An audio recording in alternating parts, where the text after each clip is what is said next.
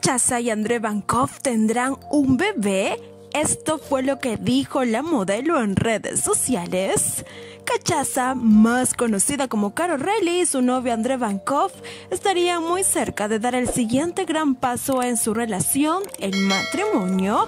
La brasilera compartió un video en redes sociales en donde André Bankov comentó mi amor, qué linda estás. En breve seremos nosotros. Dios nos bendiga y guarde siempre con dos corazones blancos, lo que aumentó la especulación sobre un posible enlace matrimonial.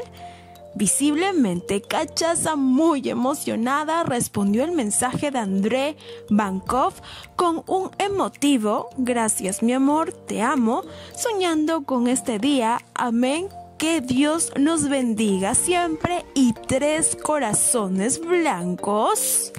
Estos detalles han llevado a sus seguidores a pensar que la influencer se encontraría en la dulce espera y es que ya hace varios meses están diciéndole a todos sus seguidores que pronto esperan casarse y hacer una familia. Y es que uno de los deseos más grandes de la ex de Rafael Cardoso es finalmente convertirse en madre y parece que lo ha conseguido. Rafael Cardoso no cree en el compromiso de Cachaza y le manda misil a su novio.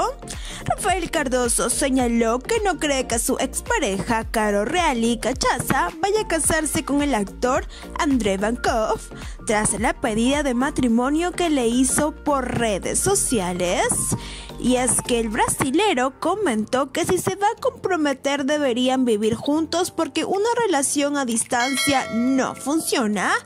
Además, le mandó este mensaje a su expareja y también a André Bankov, hombre que ha conquistado el corazón de la brasilera. Sin duda alguna, Rafael Cardoso está bastante dolido hasta ahora que Cachaza rehecho su vida en un abrir y cerrar de ojos.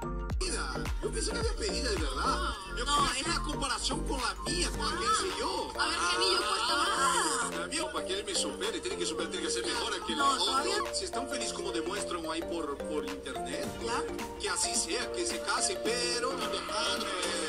Pero, tiene que pero- superar, ¿verdad? Tiene que superar. Algo, algo- No, yo no, no por ellos. Yo en general ¿Por qué?